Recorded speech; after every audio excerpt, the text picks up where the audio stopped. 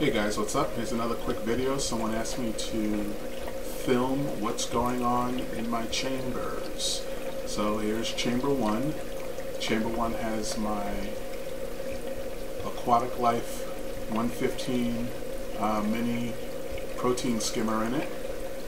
Then I have the, in chamber two, I have the media basket with my uh, filter floss, my uh, Purigen and my Chemi Pure Elite.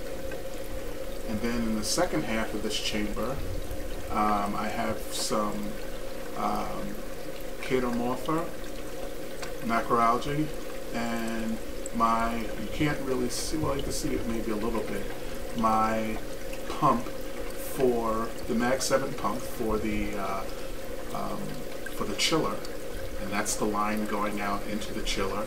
And then in chamber three is the line coming back in from the chiller.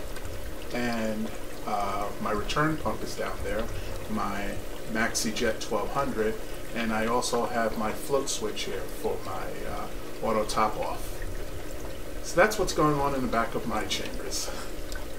Thanks.